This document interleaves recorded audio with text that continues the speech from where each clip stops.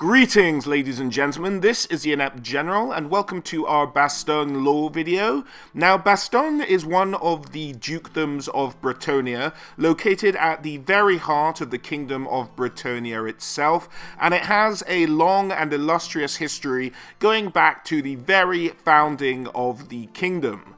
Now, Bretonnia, unlike the Empire, did not unite behind Sigmar. In fact, it didn't feel nearly as threatened as the people that would one day go on to become the Empire, further to the east of their territories.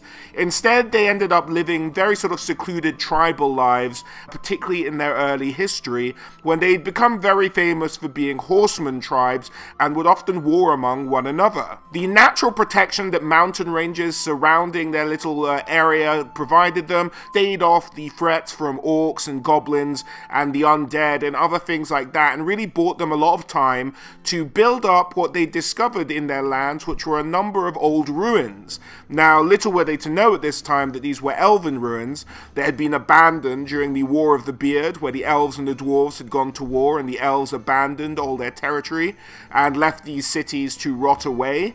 But these early primitive Bretonnians found them, built up cities around them, strengthened their walls, and as such, when a sort of significant threat of greenskins eventually made it across the mountain ranges of Bretonnia, each city could pretty much defend itself and never really had the need to unify because greenskins being greenskins, whenever they'd get to a building, there was no one to fight, everyone was just hiding behind the walls, they'd eventually just move off and get bored and go find something else to kill. So that worked for a very long time in Bretonnia. So around the year 770 of the imperial calendar, so roughly around 2,300 years before the start of the Total War Warhammer timeline, the tribes of Bretonnia started to stabilize a little bit, warring became less frequent, and they started to establish 16 kind of set tribes that would go on to become recognizable dukedoms that we might see today. Now, over the run up to the history of Bretonnia, until they become one country, two of those tribes do drop out and get annihilated. However, the rest of them go on to be established dukedoms as we know them today, including Bastonne. Apart from the loss of these two tribes, peace kind of ruled out in Bretonnia for a bit of time. It was relatively stable. The odd threat of beastmen or greenskins would pop up, but each city would be able to deal with it. It wasn't until some 160 years later that the real trouble started. Greenskins started amassing in numbers never before seen in the lands that would one day become Bretonnia, and it was just too much for kingdoms to handle on their own, although they did try and tackle it this way. Now, this trouble is not happening over sort of one year or so like that. It's just a constant build-up of pressure on all these Bretonnian tribes, and they all start to eventually succumb to the pressure. There's just too many greenskins.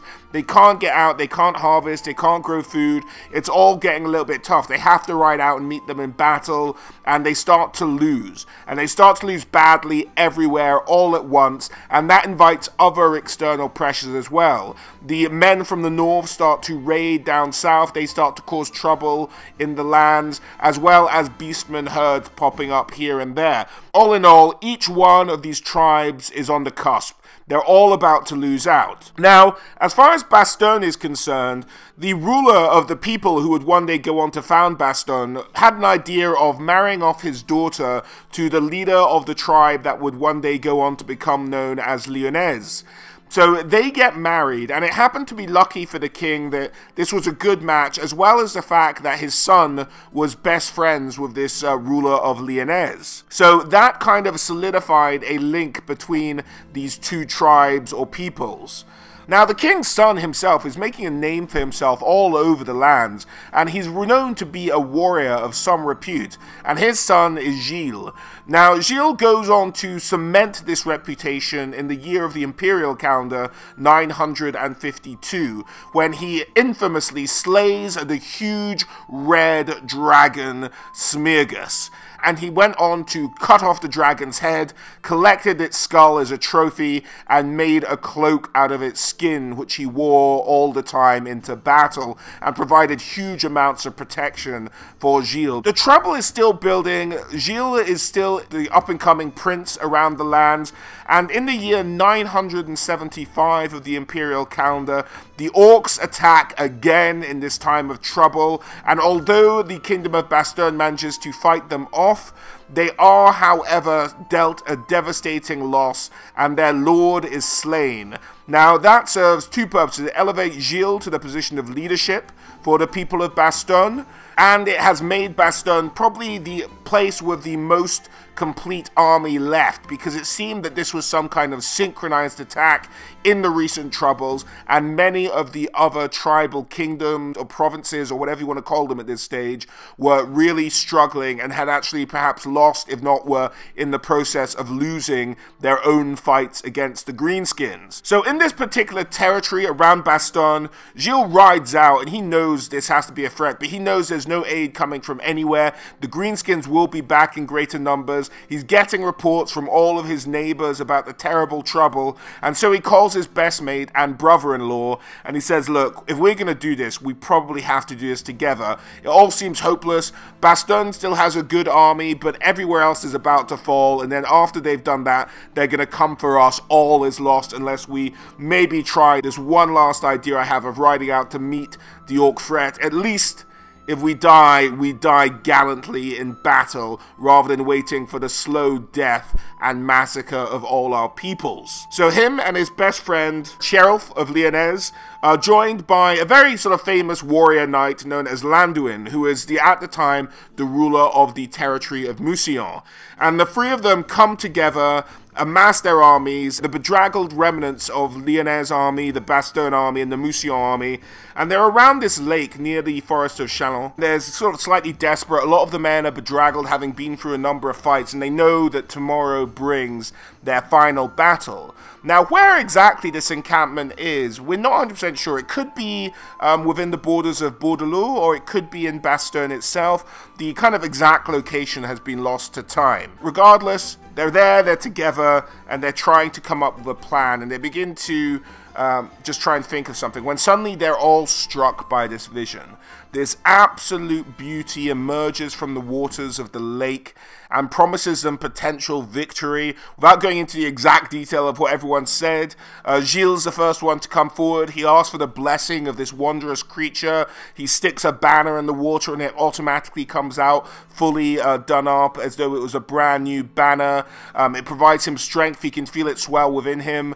The lady has a grail with her, which she fills with water and allows the leaders from each of these provinces to drink, imbuing them with huge amounts of strength and power. And the next day they feel blessed. Each one of the knights and warriors would dip their sword in the water or a spear or whatever they would have, and it would strengthen their piece of equipment. And renewed by this vision of beauty and hope, they march out to meet the orcs the next day and absolutely slaughter them. The three knights in question themselves, imbued with unimaginable strength and vitality, just tear down hundreds upon hundreds of orcs almost single handedly. And the spark of hope is lit again amongst the lands that would become known as Bretonnia. Now, for those of you who have maybe followed some of my other Bretonnia videos, you know that this leader of Bastonne was Gilles Le Breton, the great unifier of Bretonnia. He would go on to have another 13 huge battles all around the lands of Bretonnia, bringing more and more people to his banner, fighting off the Greenskins, fighting off the Beastmen, fighting off the Norscan raiders. And it was this point in history that the individual kingdoms of Bretonnia or tribal lands of Bretonnia decided, you know what, maybe it is better to group our strength for the oncoming threats this world has to pose for us, and they named Gilles Le Breton, the leader of Bastonne, as the first king of Bretonnia, and establishing Bretonnia as a unified nation. By the year 995 of the imperial calendar, Gilles is king, and he is said to be. There's kind of different laws been taken different approaches to this, but I'll kind of make an amalgam of both of the stories that I've seen around this. And he's heading back to Bastonne. He gives into nostalgia a little bit one day, and apparently decides to go back and visit the lake where the lady first appeared to him. You know, just to relive the good old days when he was fighting every single day for his life and for his people. On the journey, he's said to be ambushed by a marauding group of orcs, and he starts to engage the orc war boss in combat, and the orc war boss is armed with a magical axe. Now, in some earlier lore, it said the Orc war boss kills Gilles le Breton with this axe, but in later lore, it's discussed that it wasn't while he was locked in this combat with this Orc war boss, a cowardly, probably a gobbo or something, used a cowardly missile weapon and struck Gilles le Breton, killing him. Whether that was a bow or a bolt thrower, I think it's a bolt thrower, it's often spoken about. So that kills Gilles Le Breton, cements the idea of all missile weapons being cowardly and only fit to be used by peasants. So he is potentially killed in his home district of Bastonne, although potentially this did happen across in Bordeaux as well. But I like the idea of him dying on his home turf. And upon his death, it is said that Gilles Le Breton was raised up again by the Lady of the Lake to serve as her eternal champion, the Green Knight. Now, if you'd like more detail on Gilles Le Breton's campaign or his work as the Green Knight, do check out my Green Knight lore video popping up in the top right hand corner now, or you'll find the link in the description below. The next kind of uh, great incident to involve Bastonne was probably the Crusades in the year 1449 of the imperial calendar, where Bastonne, along with all the other dukedoms of Bretonnia now, um, all sent troops to go and fight in Araby and to save Tilea to a certain extent. So that was the largest event, and that was then followed in 1813 by an outbreak of disease known as the Red Pox that wiped out huge amounts of the population of Bretonnia, and Bastonne was not spared this atrocious curse. Then, in the year of the imperial calendar, 1932, a character known as the Red Duke, who'd been causing problems elsewhere in the Kingdom of Bretonnia, had been defeated or had in fact murdered his descendants, being a vampire lord that he did not know at the time and was a little bit insane. But he fled from that battle, his forces losing it in the end, and it said he fled to the forests of Bastonne, the forest of Chalon and he hides in those forests to this day. So the Red Duke, although a character in Total War Warhammer appearing to rule Mousillon, technically by the law is hiding out in the Chalon forest, potentially in Bastonne as well. And then by the year 2500, which kind of brings us up to date in the Warhammer timeline, King Louen Leoncoeur is crowned to the throne of Bretonnia, and around the same time, if not a little bit before, we're not exactly sure of when this happens, but the new Duke of Bastonne arises, Bohemond the Beastslayer. So the two of them come to power in the same era, and that is the current state of Bastonne, who birthed the unifier, the great champion of Bretonnia, Gilles Le Breton. Moving on, let's have a look at the land of Bastonne itself. Now, to the northeast, it's kind of surrounded by the river Grismerie, and to the south, there is the river Gilou. Now, most of Bastonne is huge, just swathes of arable land. It's slightly split in half. To the west, it's more arable. To the east, it's more pastoral land. And they do have, to the southern edge, the mountains of Massif Orcal, whereby huge amounts of greenskins live. Now, I've mentioned this in uh, my top 5 campaign videos, but it's a shame that in the Mortal Empires or the Grand Campaign map, we never had Massif Orcal done up. It is done very nicely in the Wood Elf mini campaign if you ever want to have a look at it in the game. But it's a huge orc stronghold, and many, many times do greenskin raiding parties march out from this mountain range in the middle of Bretonnia and cause trouble to all of the surrounding dukedoms, not just Bastonne. Now, the other big sort of geographical thing within the dukedom of Bastonne is the Forest of Chalon. Now, the Forest of Chalon is a hugely dangerous, if not small, forest. It has huge amounts of beastmen, huge amounts of undead, and a lot of undead beastmen to boot. Not to mention the Red Duke hiding out somewhere in this forest as well. Just a hugely dangerous place to go, and no one would ever set up any kind of timbering there it has been known that around the edges of the forest, some timber yards have been set up in the past, but they happen to have populations that go mysteriously missing after certain amounts of time. The most one has ever lasted is about a period of five years, and then there was just blood everywhere, no bodies left remaining.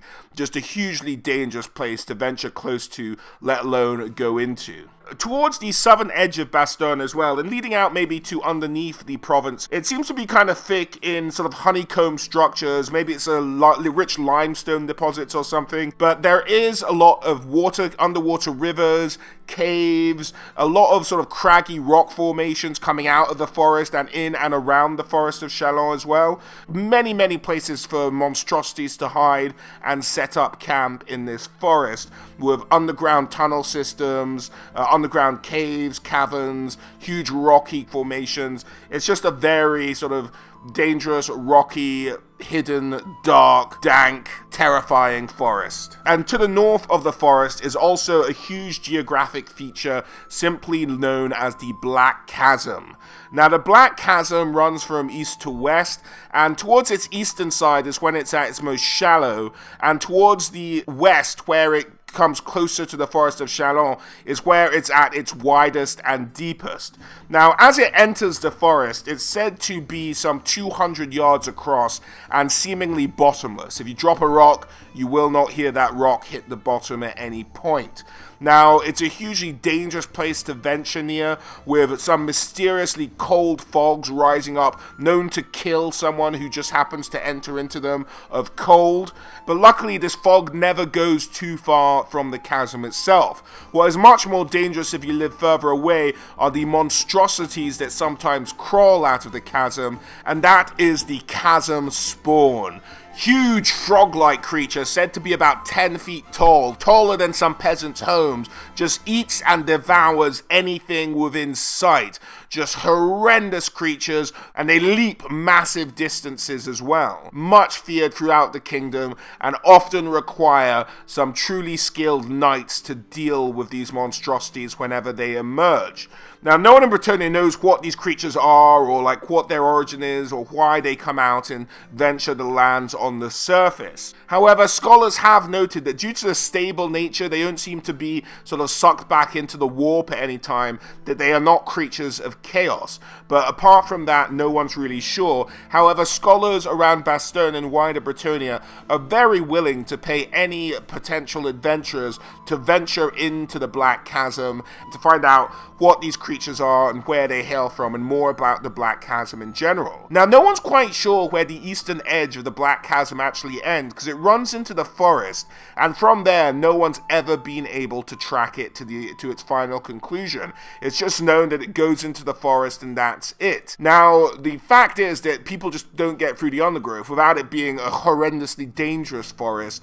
Um, no one can make the trek, even if they are fighting off all the things that come at them as they try to track down where the Black Chasm actually ends within the limits of the forest. Now, unbeknown to Bretonnians, but known to us perhaps as the keepers of the law, it is actually an area known to be a Skaven den. One that's very ancient and that's probably been around since the Great Migration of the Skaven when they all spread across the world from Skaven Blight itself.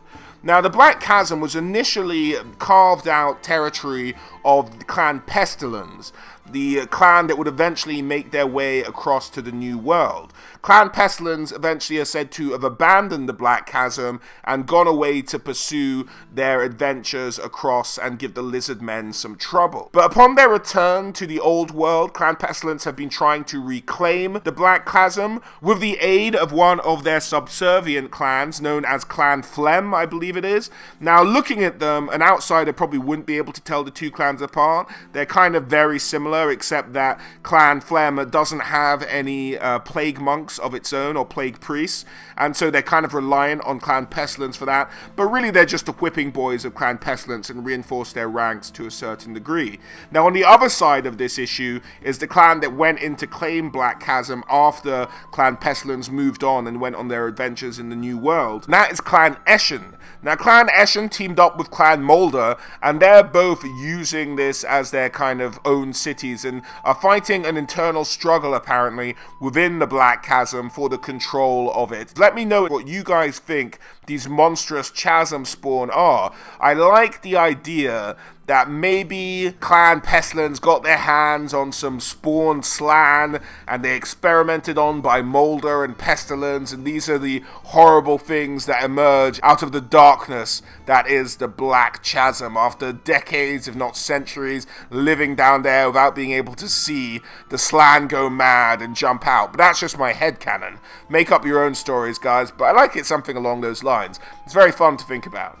But that is the Black Chasm, a very horrific piece of geography in Bastonne itself, and somewhere to be very wary of. Now, on the other side of the Black Chasm, towards the mountain range as well, it's said that there are some mountain villages up there in Bastonne, but they live slightly isolated. They're said to be ruled over by a chap known as Baron Lothar the Ready, and they are kind of a, autonomous cities up there, and not even cities, they're not that big. Autonomous human settlements who one has to imagine are made of hardy folk fighting off all the monstrosities around them and sort of being on the edge of the forest as well.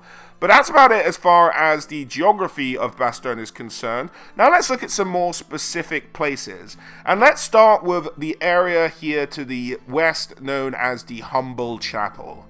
Now, the humble chapel is said to be over a thousand years old, so that puts its founding at around the year 1500 of the imperial calendar. It's said to be the oldest Grail chapel established and maintained by peasants, the story being that upon this site, a peasant one day was said to have seen the Lady of the Lake herself, and she praised him for being a good peasant and always following his master's orders, doing what he's told, and living a life of servitude. And as a reward for being such a faithful servant, he can graze the base of the grail itself. Now, not drink from it and become a Grail Knight or any craziness like that, but just with his fingertips grazed the base. And that is the holy event that sent up the humble chapel to be built on the site. Now, all nobles tend to scoff at the suggestion that the Lady of the Lake would ever appear to a peasant, and so they have never believed the story, but allow the peasants their frivolity. And it's said that any sort of Grail chapel controlled by peasants, if you give donations there or the peasants give a little bit of their money, it all goes towards this, the humble chapel. Now, it's perhaps a slightly ironic name in that the humble chapel is anything but. It's said to be a huge construction, lavishly furnished with elaborate stained glass windows, ornate furnishings made of gold, and stuff like that. It's just a hugely rich chapel and quite the sight to behold as well. But that is the story of the humble chapel. Now, between the area of the Humble Chapel and the western border of Bastonne, around this sort of area, is also a city or town known as Garamont. Now, Garamont is uh, something we'll touch on a little bit later. It's where a very famous knight in Bastonne known as uh, came from. So we will get back to him a little bit later, uh, but just remember it's around this area, kind of near the Humble Chapel, at least we think. To the northeast, there is also the town of Sudet, now, Sude is the only town built upon the, or the only town of any significant size built on the rivers of Bastonne, and it's thought that one would have to surmise, this isn't really written about anywhere that I could find, but one would have to surmise is a central trading area so that they can move all their food goods and stuff out of Bastonne, trade them along the riversides, maybe get them as far as a civilized Musionov not to be shipped out, if not at least to uh, some of their other neighbors to be sold and bought. So that's Sule over there towards the northeastern part of the dukedom. And last but by no means least, we have Castle Bastonne, built on a rocky outcropping that gives it a huge amount of height so it can overlook all of the sort of arable and farming lands as well as the forest of Chalon and it's a fantastic defendable position and it can see something coming for miles and miles around. Now being the home city of the founder of Bretonnia, Gilles Le Breton, there's a lot of holy sites around Castle Bastonne that many people like to visit. Stuff like Gilles Le Breton's personal chapel. The head of Smearghus the dragon is said to be adorned on the eastern gate to this day, the dragon that Gilles Le Breton famously slew. There's also an area known as the Tower of Water, which is thought to be the actual residence, the tower in the castle that Gilles Le Breton actually lived in for most of his life growing up and that is a truly holy site. And peasants and foreigners who dare to even look at the Tower of Water are savagely beaten. Now, peasants and foreigners aren't really allowed in a lot of these sites, but they are allowed to look at them, just not the holiest of the holy, the Tower of Water. Now, of late, there have been some dark goings on in the city. On the eastern gate, where the head of Smearghus is said, some people have claimed that the head whispers to them, and as such, there's been a bit of an uptick in crime around Castle Bastonne, as well as the fact there have been whispers of dark goings on and and dark rituals taking place within the Tower of Water. All of these rumors are very heavily suppressed when anyone in authority would ever hear about them, but there does seem to be some iffy things going on around Castle Bastonne in the modern day and age. But all in all, it's a site of huge pilgrimage. There's also thought to be a cathedral of the Lady of the Lake here, and uh, many people just tend to visit it, as many cities have. It has sort of taverns and stuff. And there are sort of a very established tourism trade going on here as well, with peasants being shown around a little bit in massive groups, and nobles getting more one-on-one treatment for tours and the like. But that is Castle Bastonne. As far as the people of Bastonne are concerned, they have a firm belief that Bastonne is the heart of Bretonnia, not just geographically, but as far as the moral center of Bretonnia is concerned as well. They feel that they hold the traits of Bretonnia truer than any other dukedom, those of courage and honor and pride, perhaps even taking it too far. Now, others perhaps see them as more sort of pompous than anything else, but they are thought to be a pretty charismatic people overall.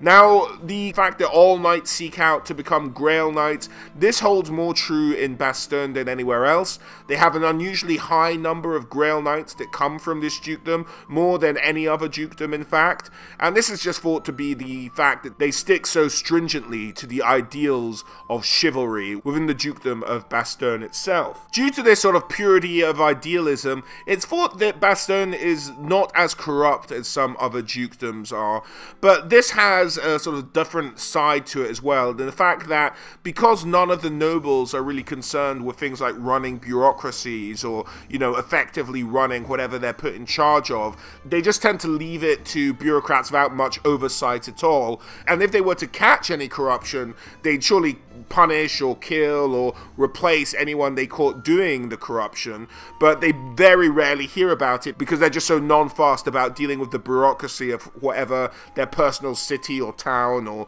whatever they're put in charge of. So there is some corruption that creeps in, but not from the nobles. It's just more from the admin guys below uh, because the nobles aren't paying close enough attention to the, let's say, non-significant things of slaying monsters and going out and riding out into battle.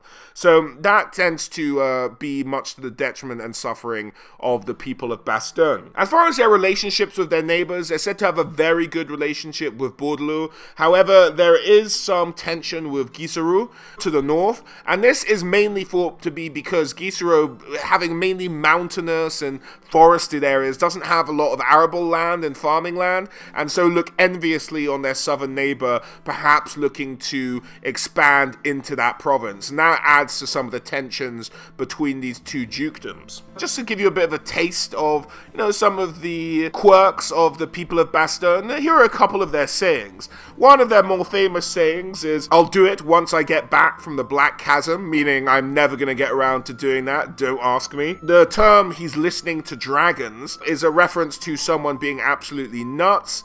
And there is always the famous one, oh, he's a Grand Admiral of the Bastonne Navy, uh, which is mainly just meaning he has empty titles, as you can see, because Bastonne is a fully landlocked dukedom, so would have no need, obviously, for a Grand Admiral. But I like that idea that, oh, he must be a Grand Admiral of the Navy, just being he has empty and vacuous titles. So uh, that's the people of Bastonne. Now, moving on, let's talk about some of the specific heroes of Bastonne, shall we? Now, we mentioned him a little bit earlier, but let's kick this off with a look at Calard de Garamont. And uh, Calard is a famous character in Bastonne, not perhaps in the army books or in the rules of the tabletop game, but he was the titular character of a whole series of novels. So if you're a fan of Bretonnia and you haven't picked up his novels, do pick them up. They're named after, I think, mostly his climbing up the chains of the ranks of knight. So the first book I think is him as a knight errant and you really just follow his life as it goes around and it's a night it's a life of misery. There's betrayals from within his family, there's mutants from within the family. There's a whole bunch of horrific stuff going on in this poor chap's life but he continues to rampage on, holding the vows of chivalry true and looking to eventually become a Grail Knight, which he does eventually do. Uh, spoilers, but you knew where that was going.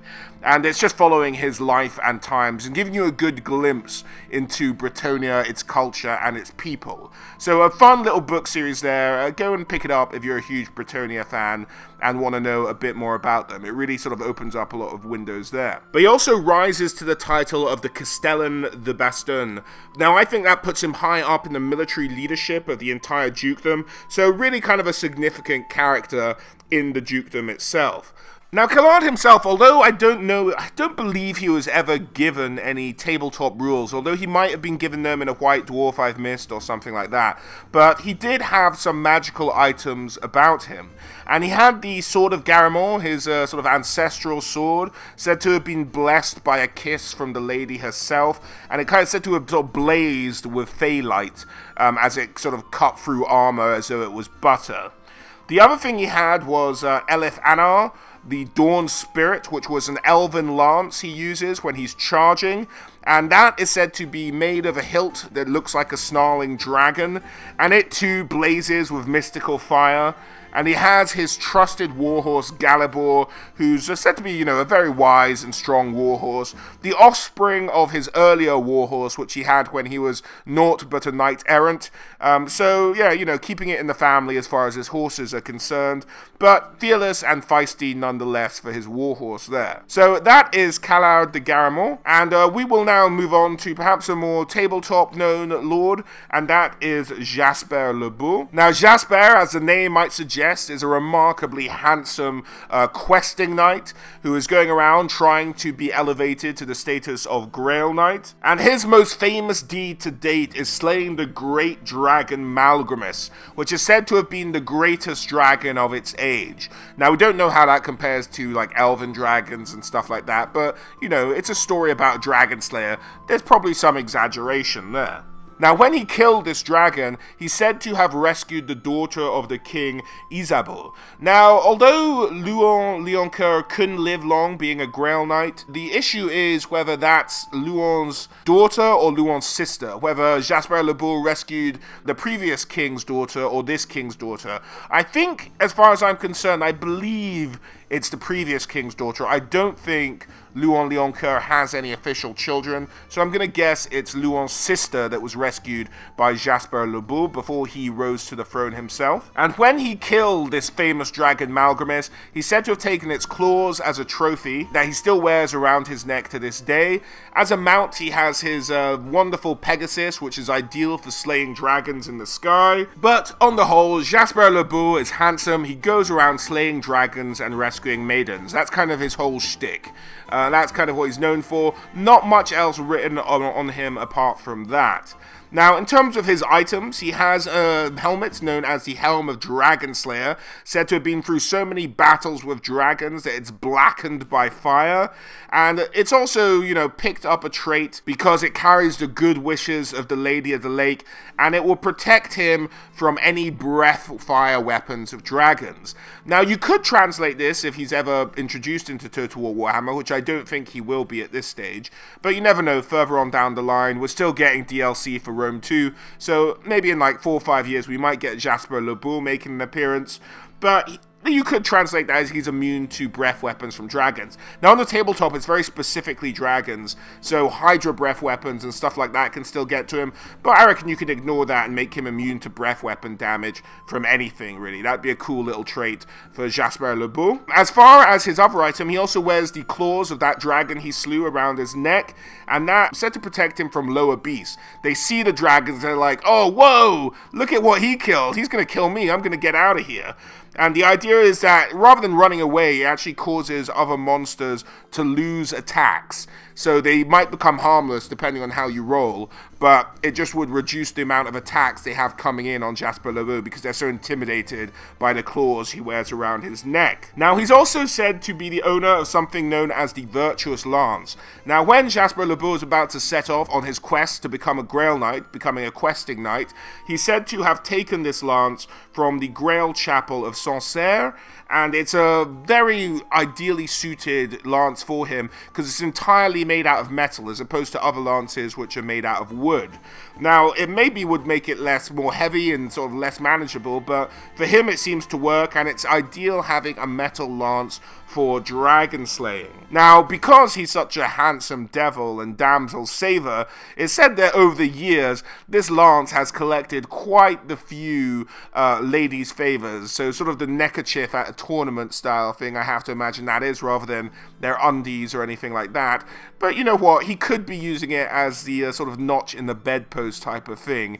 But that Jasper Le his steel lance festooned with ladies' favors as he charges into battle against dragons. Now, as far as tabletop rules, what this lance did was that it would give him a more damaging charge, essentially, and also a chance to insta-kill something with the damaging charge as well. So really kind of a handy weapon if you're going up against big monsters. The fact that you can almost instantly kill a monster with multiple wounds on the tabletop uh, would be a pretty good advantage for you there as Jasper Le Boule. But that's about it for Jasper. We kind of know his deal, and let's move on to Bohemond Beastslayer, the Duke of Bastonne. Now, in many ways, Bohemond is the living embodiment of his dukedom. He's full of pride, devotion to chivalry, devotion to Bretonnia, and all the ideals therein. This can take him to some negative places. His pride can sometimes overtake his sense in the fact that he will never actively engage in combat with something or someone that he doesn't deem worthy. Instead, if he thinks you're rubbish, he'll just knock you out or stun you, and then just walk away into the distance distance, allowing perhaps a peasant to stab you in the belly with a spear or something like that, rather than be deigned to have to face someone so incompetent himself. So that's kind of his whole attitude. And although he is said to be noble and have sort of true aspects of leadership, he does lack the element that we mentioned in many of the nobles of Bastonne, and it's probably a sort of top-down issue here, in that he has no care for the running of the dukedom itself. He generally couldn't care. He leaves the whole running of the dukedom to his steward, uh, as far as like admin tasks are concerned, and his justicar, as far as any kind of dealing of justice is concerned, and he tends to try and stay out of it. In fact, he would have been perfectly happy living his entire life as a hermit knight. It was only under the encouragement of Louen Leoncoeur, who asked him to take control of the dukedom, that he agreed to be the duke at all. Which is interesting considering that as the Duke of Bastonne, he actually has direct heritage from Guy le Breton. He's a great, great, great, great, great grandson or whatever have you. Now, Louen Leoncoeur, I don't believe actually has direct heritage from Gilles Le Breton, which some could argue would give Bohemond a good claim to the throne. However, Bohemond doesn't want that kind of responsibility and is more than loyal to King Louen Leoncoeur. He follows him, he thinks Louis's a great king and would die for the king gladly. So no conflict there, maybe just something worth bearing in mind. Now, his martial skill and combat ability are unquestionable. He has become a Grail Knight, and in fact, he was a Grail Knight before he became the Duke of Bastonne, and he became a Grail Knight pretty young as well. Now, being in Bastonne and with all the dangers I've sort of mentioned to you, he's never short of a good fight, uh, whether it be around him or elsewhere. So there's always be beastmen or orcs or something to batter in, and uh, he's always happy to oblige anyone who would challenge uh, his authority or his martial prowess. Now, he's said to have been so uh, sort of looking so much on the hunt for a good challenge that he, during an event that has been since removed from the lore, known as the Storm of Chaos, went out and was one of the only Bretonnian dukes to actually go out and help the Empire fight off Chaos. But because that's never happened, it's not that relevant, but gives you an idea of what Games Workshop think his personality is like. Now, as I mentioned, he was fairly young for a Grail Knight, and he ended his Grail quest where he too, much like following the tradition of Bastonne slew a mighty dragon, and upon sort of chopping off its head, the lady appeared to him, and as tradition would dictate, he had to duel with the Green Knight to be found worthy. He was found worthy, given the grail to drink out of, became a Grail Knight, and the lady asked him to wash off the dragon blood from his shield in the water she appeared out of, and that blessed his shield as well, making it a magical item. Now, of his trophies for the dragon, unlike uh, Jasper Le Beau, who took the claws, and Gilles Le Breton, who took the head and made a whole cloak out of the skin, he decided to take a thigh bone and carved it into the shaft for a massive mace he would take on as his weapon. And that's what he uses to ride into battle with to this day. Now, he is a hugely prideful ruler, um, not great at the actual effort of ruling itself, but a great warrior, and I think would have made a much more interesting character as a legendary lord than Albric de Bordeleaux. Number one being that at least uh, Bohemond had rules on the tabletop and was a character, unlike Albric, who never had a model or rules on the tabletop, at least as far as I'm aware. So Bohemond Beastslayer, I think, would have been a great uh, legendary lord instead of Albric. Uh, but there we go and we may see him in the future. It would be great to see Bohemond Beastslayer make an appearance at some point for Bretonnia in the future. Perhaps even putting him in the New World if you wanted to, uh, because he does like to go and seek out a challenge. Now, as far as his items are concerned, we have mentioned a couple of them, but let's just go over it. He does ride a warhorse, he doesn't ride a Pegasus or a Hippogriff or anything like that. Um, he has his mace, which we mentioned was made out of the thigh bone of the dragon he slew, and it has a head made of meteoric iron put together for him by dwarven runesmiths, so it has become quite a potent magical weapon. Now, what this meant on the tabletop was it added a value of 2 to his strength and would allow him to do D3 wounds, so 1 to 3 wounds instead of just 1 wound, making it a fairly potent weapon on the tabletop. Now, his shield, which the lady asked him to clean in the waters from which he appeared, gained the ability on the tabletop to break magical weapons of other characters. Now, I've seen this a couple of times in some of the Legendary Lord videos I've done previously. Um, it'd be a hard rule to implement in Total War Warhammer, so we might just see it be magical resistance or something along those lines, uh, rather than something that destroys magical weapons held by the other player. And that's about it for both Bohemond, Beastslayer, Duke of Bastonne, and our Bastonne video, guys. Hope you enjoyed it. It's one of the more interesting dukedoms in Bretonnia. Thoroughly fun. The mysteries of the Black Chasm, a particular note, at least for me. Um, hope you guys all enjoyed it. And as always, guys, thank you all for watching, and I'll hope to catch you all on the next one. Alright, guys. Bye.